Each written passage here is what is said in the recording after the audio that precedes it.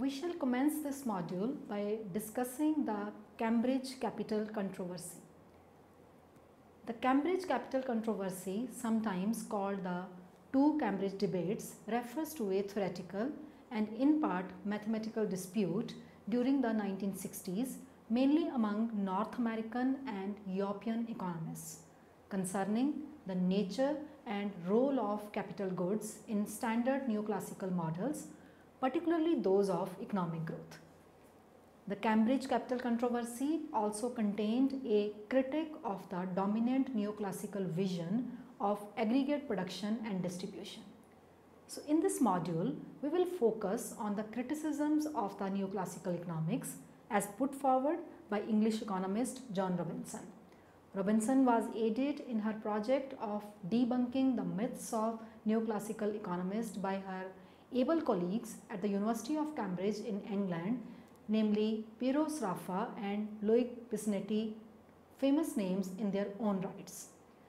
Joan Robinson and those in agreement with her argued that the economic theory behind neoclassical growth models was flawed and logically bankrupt and worse, largely irrelevant to the real world practices.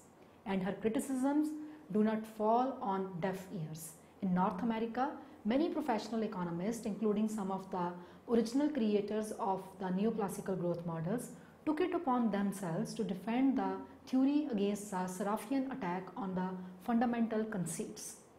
Paul Samuelson, Robert Solow, Frank Hahn and Christopher Bliss are the major names associated with the defense. Some of the important contributors to the defense were situated near the town of Cambridge in Massachusetts, US. It is for this geographical synchronicity that this debate is sometimes called the two Cambridge debate. These criticisms of the neoclassical models of growth and the debate the critic endangered have today come to known as the Sraffa Robinson critique or the Cambridge Capital Controversy. The heart of the matter can be stated rather simply and major elements of the debate are often explained as being part of the aggregation problem. Robinson summed up the critique of neoclassical capital theory by saying that it suffers from the fallacy of composition, which arises when one infers that something is true of the whole from the fact that it is true of some part of the whole or even of every proper part. In the realm of economic theory, the fallacy implies that we cannot construct macroeconomic or growth models which merely magnify the image of the micro universe and present that as the model of the macroverse we cannot simply jump from microeconomic conceptions to the macroeconomic ones. Mere aggregation or summing over of individual production processes undertaken by myriad individual producers does not deliver an understanding of the production by society as a whole. This is the gist of the aggregation problem outlined by Robinson, though by no means is her criticism of neoclassical economics limited to this. The aggregation problem itself applies at different levels to the neoclassical framework. At one level, it applies to the nature of capital itself. In order to know what capital is or even how it is to be measured, economists have delineated two types of capital flows. The first considers capital to be what it really is materially, which is an incredibly diverse set of heterogeneous machines, tools and gadgets. Palm Pilot, small or humongous like a dam, widely varying in functionality and the intent. Secondly, the aggregation problem applies to the neoclassical notion of production function. We have seen in the preceding lectures that these generally belong to the CRS or constant elasticity of substitution family of production function such as the Cobb-Douglas. The fallacy of composition is committed whenever we wish to lead our argument from a particular case to the general one and every aggregate production function which attempts to combine particular and individual production processes into an economy-wide function between inputs and output is guilty of the fallacy. But the Cambridge capital controversy is not significant only because of the lasting impacts of the dispute on the direction and manner of economic theorizing. It is also important in the history of economic ideas because of the emotional and ideological weight of the debate. This is due to the fact that the Cambridge UK side attacked parts of the neoclassical theory that are fundamental to the framework. Accepting the critic would imply having to reject almost the entirety of the received theory at the macroeconomic level, which is why those at Cambridge US fought so valiantly to repel the critique. Across the clusters of capital controversy, this tension generates three recurring issues. Number one, explaining factor prices as a scarcity index. Number two, the methodological issues integrating capital and time into equilibrium models. And number three, the role of vision ideology in fueling controversy when results of simple models are not robust. After studying this module, you shall be able to know about the Cambridge capital controversy, learn about the aggregation problem and understand the neoclassical response and the Sraffa's contention. Now we shall discuss the aggregation problem. In neoclassical economics, we use a production function that is often assume the form of a CRS production function, for example, a Cobb-Douglas or a Leontief or AK type. We typically represent this as Q is equal to A into FKL where Q is output and A is factor representing technology. K is the sum of the value of capital goods and L is the labor input. The price of the homogeneous or single type output is taken as a numeraire so that the value of each capital good is taken as homogeneous with respect to output. Different types of labor are assumed to be reduced to a common unit, usually unskilled labor measured in numbers of man hours of this unskilled labor. As we know to be the case with any neoclassical production function, both inputs have a positive impact on output with diminishing returns to factor at the margin. So long as we leave this specification as is with homogeneity among all units of output and inputs, we will encounter none of the aggregation problems that occur when we wish to make our models more complex. But in more complicated general equilibrium models, which assume labor and capital to be heterogeneous and measured in physical units, various problems begin to arise. In most versions of the neoclassical growth theory, for example, in the Solovian growth model, the production function is assumed to apply to the entire economy as if it were one big factory. In reality, of course, there is no economy-wide production process, only a multitude of relatively small individual production processes encompassing an incredible degree of diversity in the form and function of each process. But the vision of an economy-wide universal production function is important since it produces a core proposition of the orthodox textbook neoclassical economics which is that the income earned by each factor of production is equal to its marginal product. Thus, with perfect product and input markets, the return divided by the price of the product or say capital can be used to equal the marginal physical product of capital. A second core proposition is that a change in the price of a factor of production will lead to change in the use of that factor. An increase in the rate of profit associated with falling wages will lead to more of that factor being used in production. The law of diminishing marginal returns implies that greater use of this input will employ a larger marginal product, ceteris paribus. Since an individual producer gets less from adding a unit of capital than is received from the previous one, the rate of profit must increase to encourage the employment of that extra unit, assuming of course that firms are interested in profit maximization. Despite the value of making the assumption about homogeneous units of capital and labor and assuming universal production function for the entire economy, doing so leads to various problems. The first of these is the measurement problem which is part of the aggregation problem. In the 1960s, the cluster of debate led by Sraffa and Joan Robinson, whose work set off the Cambridge controversy, pointed out that though we could get by using a notion of homogeneous unskilled labor measured in man hours, there was an inherent measurement problem in applying the same notion to capital.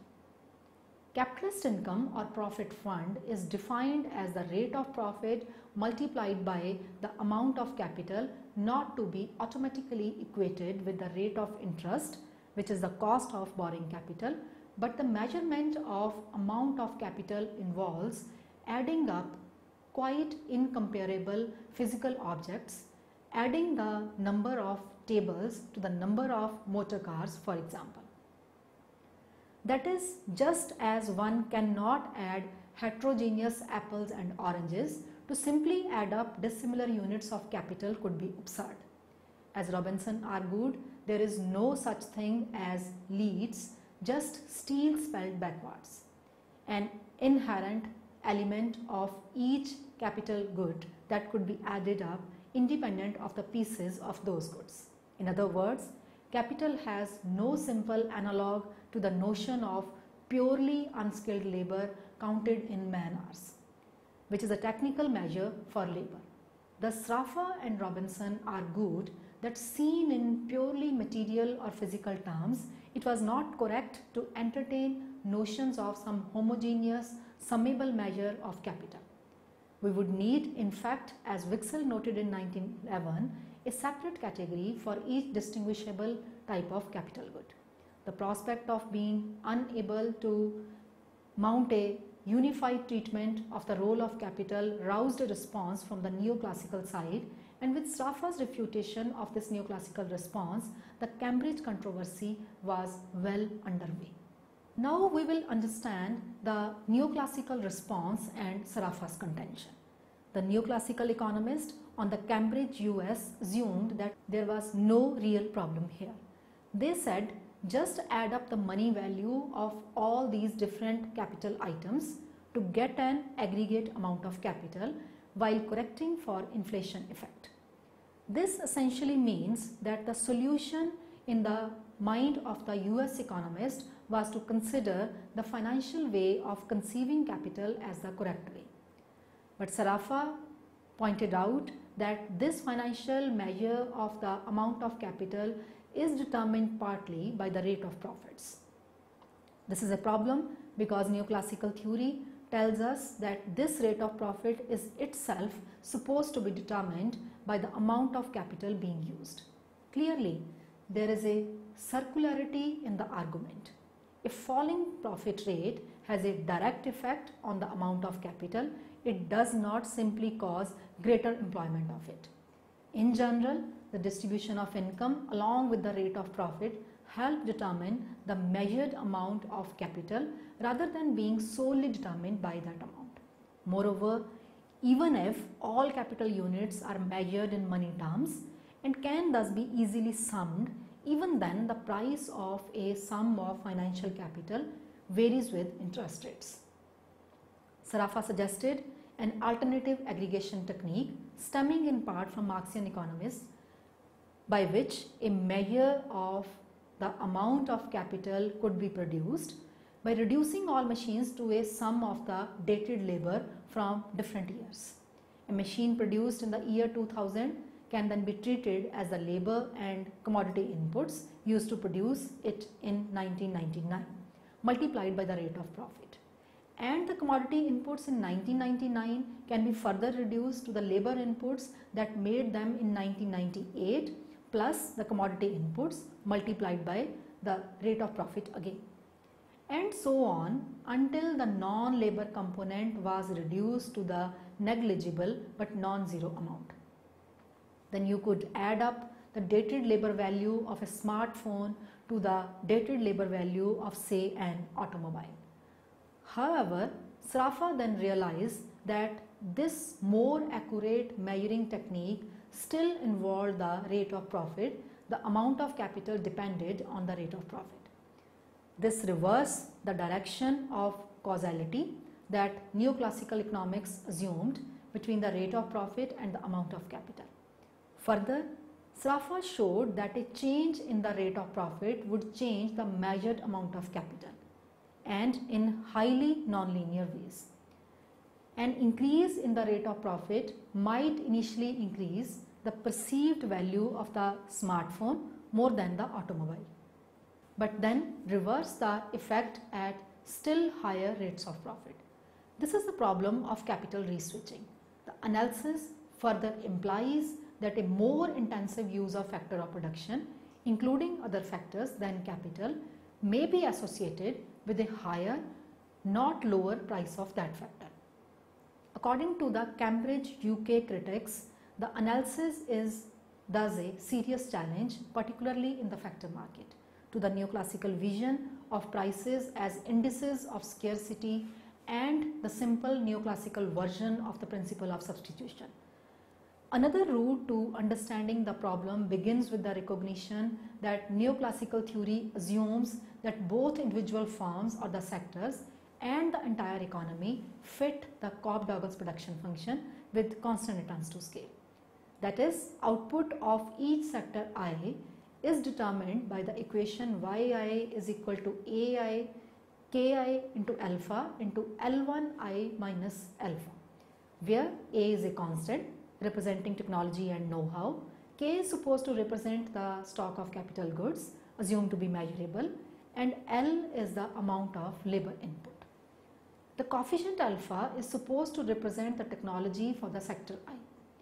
The problem is that unless we impose very strong mathematical restrictions, we cannot say that this Cobb-Douglas production function for sector I plus 1 for sector J plus that for sector K etc.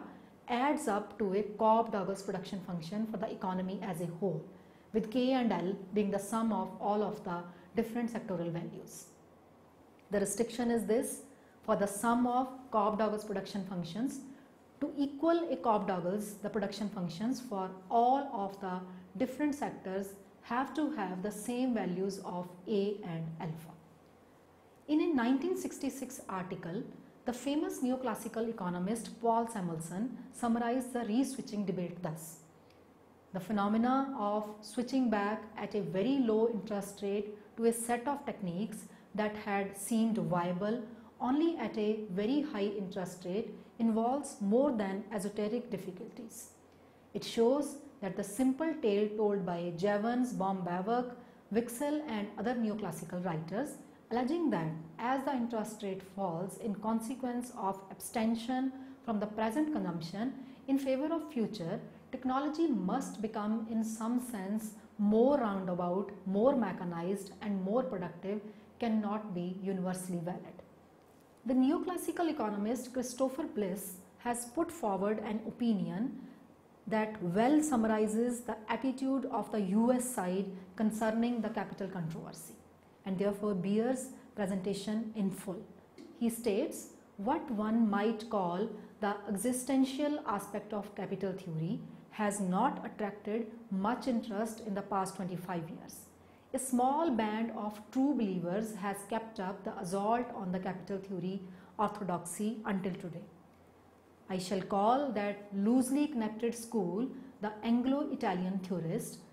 No simple name is ideal but the one I have chosen indicates at least that the influences of the Piero Sraffa and Joan Robinson in particular are of central importance. Even in that case, there is a flavor of necrophilia in the air. If one asks the question, what new idea has come out of this Anglo-Italian thinking in the past 20 years? One creates an embarrassing social situation. This is because it is not clear that anything new has come out of the old bitter debates. Meanwhile, mainstream theorizing has taken different directions. Interest has shifted from general equilibrium style that is high dimensional models to simple, mainly one good models. Ramsey style dynamic optimization models have largely displaced the fixed saving coefficient approach. The many consumers that Stiglitz implanted into neoclassical growth modeling did not flourish there. Instead, the representative agent is usually now the model's driver. Finally, the exogenous technical progress of Harrod and most writers on growth from whatever school in the 1960s and later has been joined by numerous models which take technical progress endogenous in one of the several possible ways. Moving on to discuss the other associated criticisms that is path dependence, history and equilibrium analysis and the mathematical formalism. In the last section, let us briefly acquaint ourselves with some associated concerns of the controversy. Three lines of criticism are commonly discussed today in reference to Joan Robinson's contribution to the two Cambridge debate. The first criticism concerned the historical or timeless nature of the neoclassical growth models. A typical neoclassical model of growth has no real conception of time in the sense in which time is commonly understood. Robinson called this the question of logical versus historical time, historical time being time as we normally understand it. One directional and ever flowing, while logical time is what she once famously called mythological ages, time not as it is experienced but time as it is intellectualized. Used in analysis which can go backwards and not only forwards in a sense Robinson's whole insight on the matter can be summed up in her observation that the way time is incorporated or brought into most neoclassical models suggests that it is very much like a spatial or geographical index. Robinson argued that most neoclassical models happen to use time as the type of spatial subscript. The time indexation could easily be mistaken for a geographical one. The economy between the time t is equal to a to t is equal to b could be seen as a transition between two geographically separated economies, one at place A and the other at place B. This confusion between time and place is precisely because time occupies no special category in economic theory of the neoclassical favor and beyond causing discounting effects. An associated criticism was the issue of path dependency. In logical or mythological time, each passing second is independent of the time that come before it. In real time, however, the contents of a particular point in time are heavily influenced by the content of previous periods of time.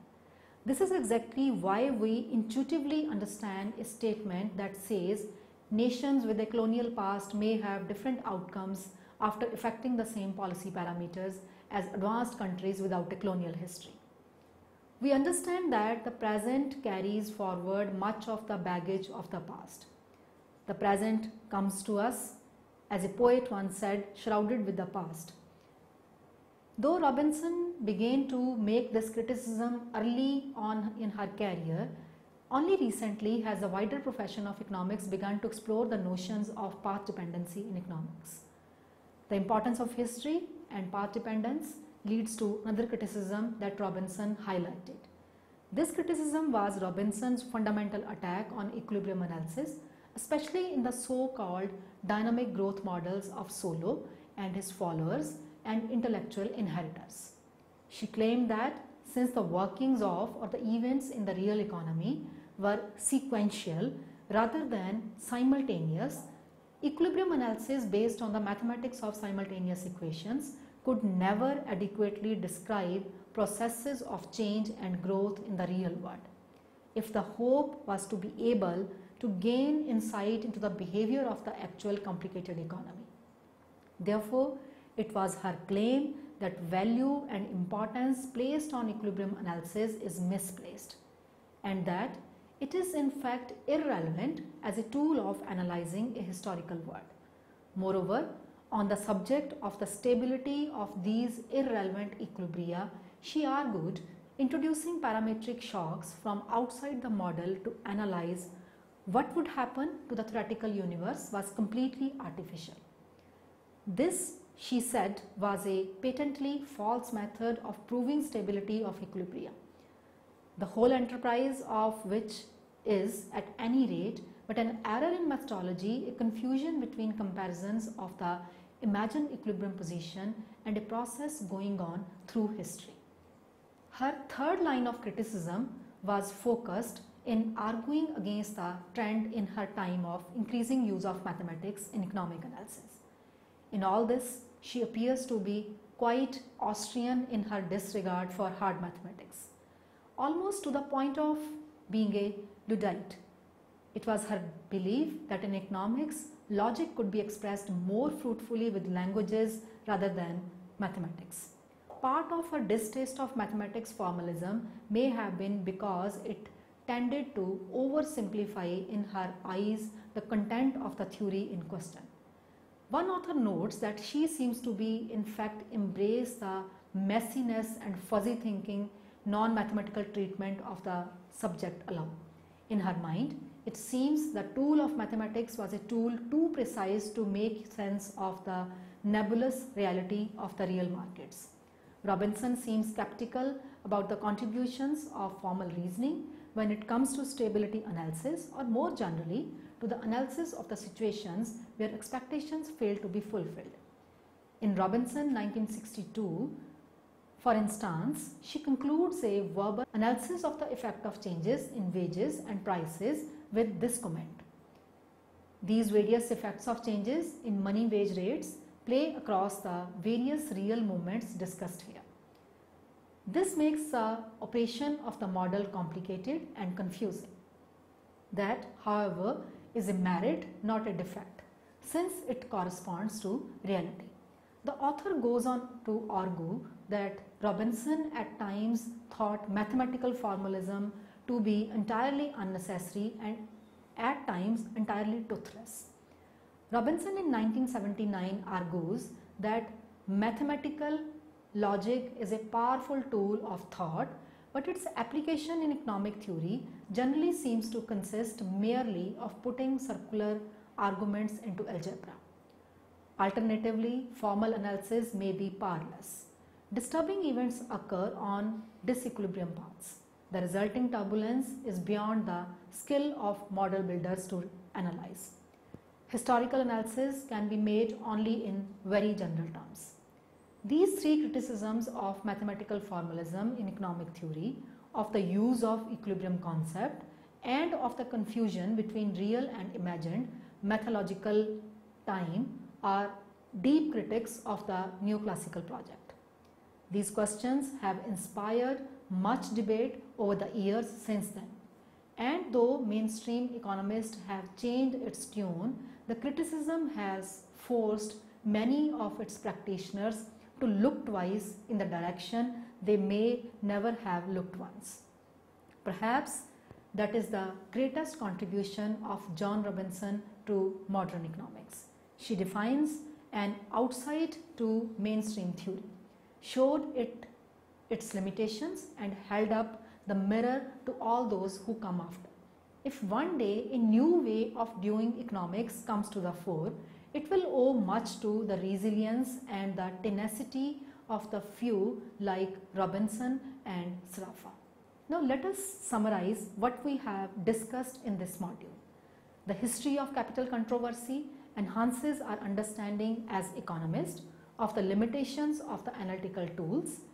There are three prime examples. The first is the limitation of aggregate production functions with their lack of sound micro foundations for explaining factor prices and for applied econometric work. Aggregate production functions have strengths but also weaknesses. Second is the limitation of equilibrium tools for explaining economic activity where history and path dependence matter. And third is the limitation of simple models for settling complex controversies. Such controversies exist around continuity or discontinuity in the history of economics and around the differences among underlying visions of school of economic thought, whether they be orthodox and heterodox or real business cycle and the new Keynesian varieties of macroeconomic theory. That's all with this module. Thank you.